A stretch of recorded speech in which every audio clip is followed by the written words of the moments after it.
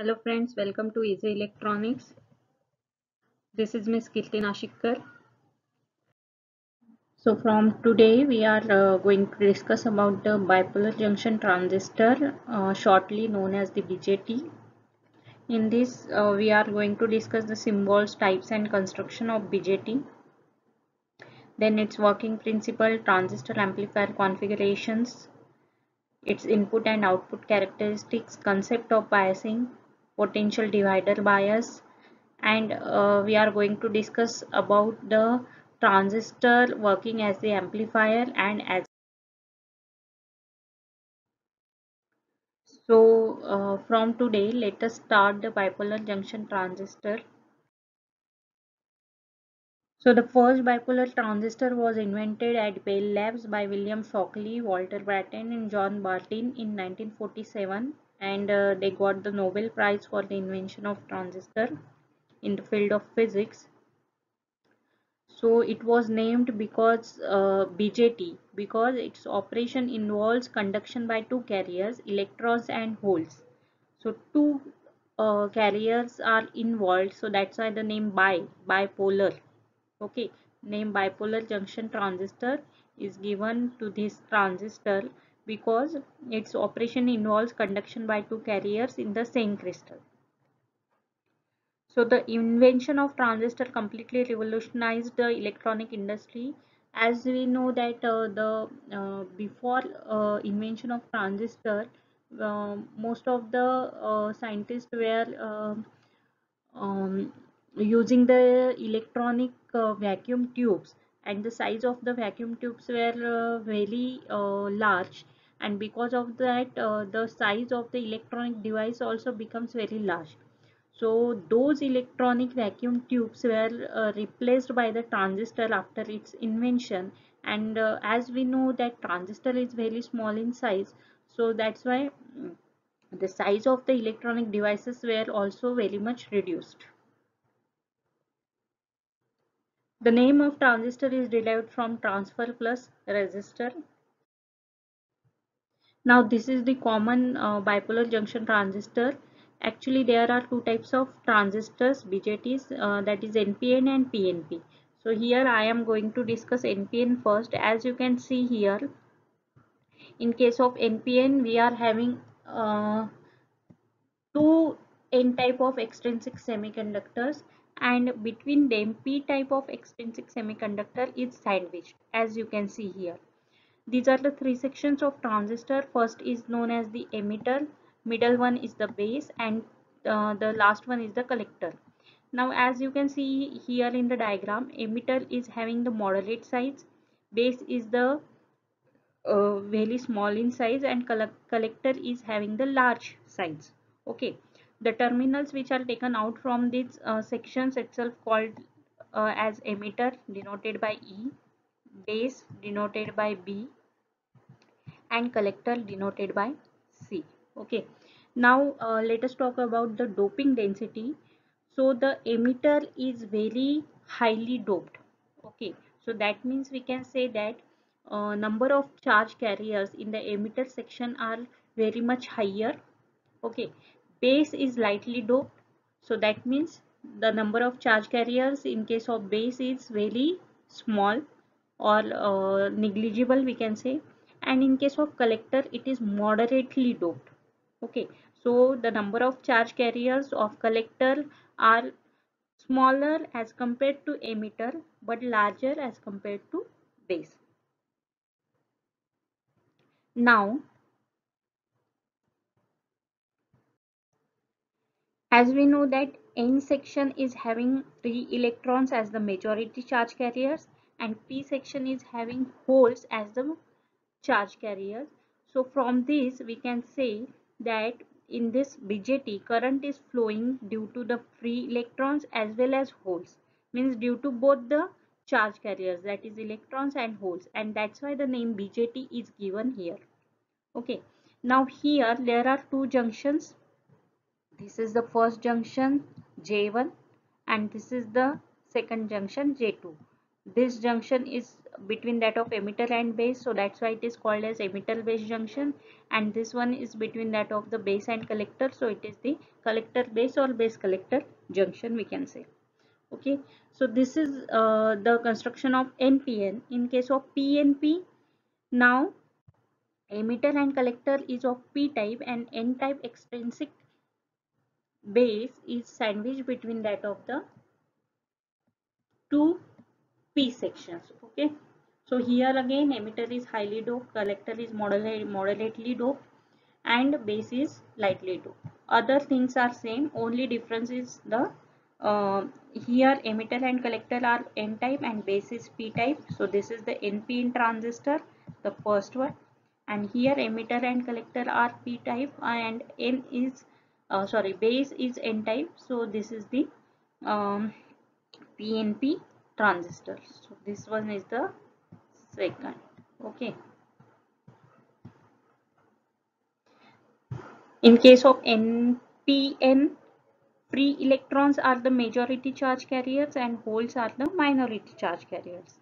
In case of PNP, holes are the majority charge carriers and um, electrons are the minority charge carriers. So this is the typical bipolar junction transistor which is easily available in the market. It is very small in size as you can see here having three terminals emitter base and collectors.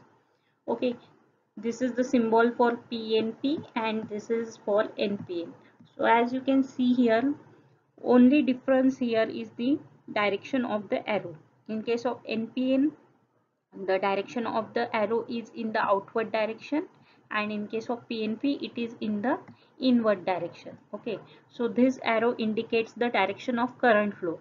In case of NPN it is in the outward direction. And in case of PNP it is in the inward direction. So let us see the operation of NPN transistor. So whenever we are operating a transistor uh, for its proper operation we must connect the emitter base junction this one or this section. Emitter and base section must be forward bias. So as you can see in the diagram negative of the terminal is connected to the n type and positive is connected to p type so from this we can say that this uh, junction or this section is forward bias and the output section or the collector base section which is here must be reverse bias okay so emitter base section is forward bias and base collector section is reverse bias as you can see in the diagram. Now here as we are applying negative terminal of the battery to the n section so the free electrons gets repelled okay towards the p type holes. And as we know the doping density here plus plus is written sometime okay and here plus is written so this plus plus means it is highly doped. And this plus means or uh, minus minus can also be written over here.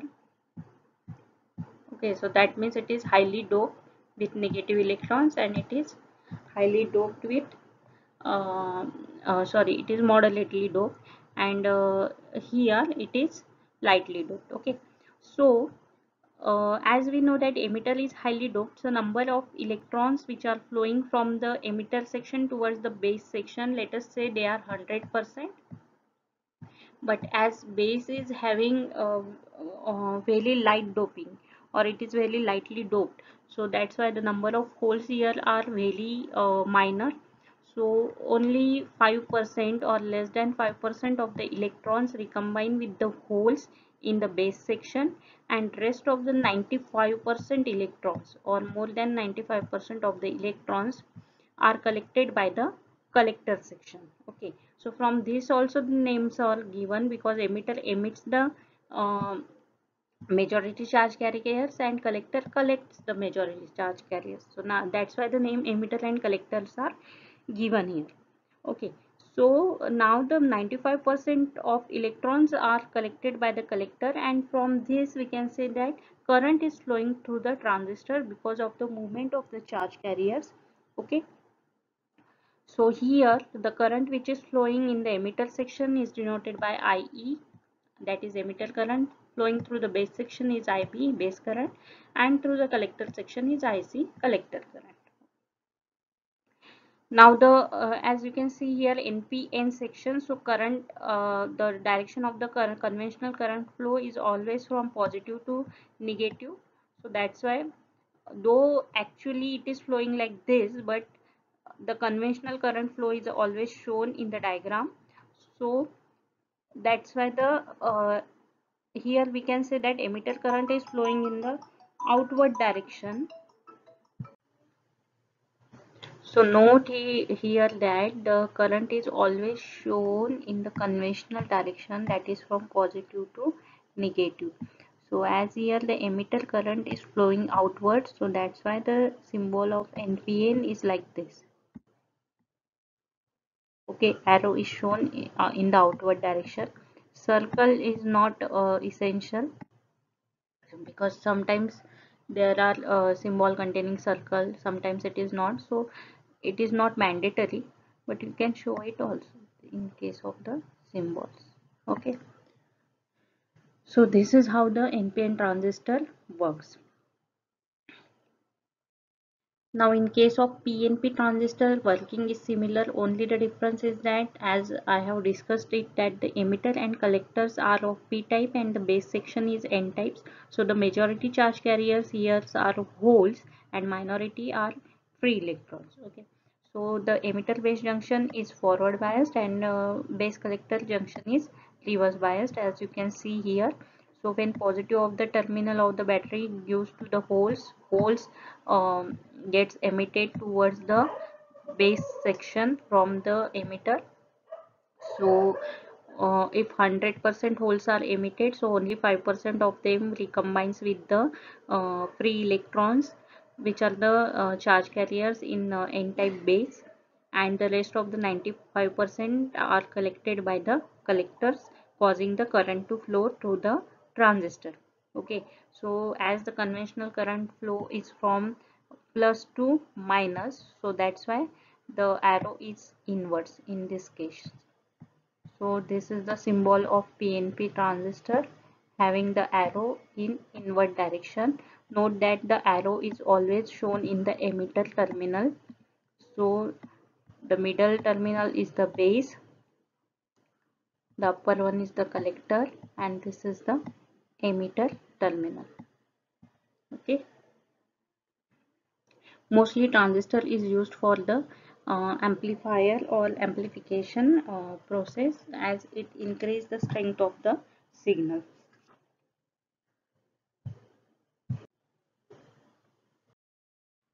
so there are uh, types of transistors. So bjt uh, in case we have seen the npn and pnp transistors but some of the transistors are um, classified depending on the uh, range of frequency on which they work. So there are low frequency transistor high frequency and medium frequency transistor. Low frequency uh, transistors are those um, who works uh, less than 3 megahertz of frequency uh, and um, medium frequency range transistors works in the range of 3 megahertz to 30 megahertz and high frequency range transistors works in the 30 megahertz to 300 megahertz uh, range frequency range. So one of the example of high frequency is bf194 and low frequency it is bc147 and there are uh, microwave transistors also who works or operates in the um, 3 megahertz higher frequency range more than 3 megahertz higher frequency range. So the upcoming lecture is the BJT working principle transistor amplifier configuration CBCCCE mode. If you like this lecture, please like, subscribe and share the channel. Thank you so much.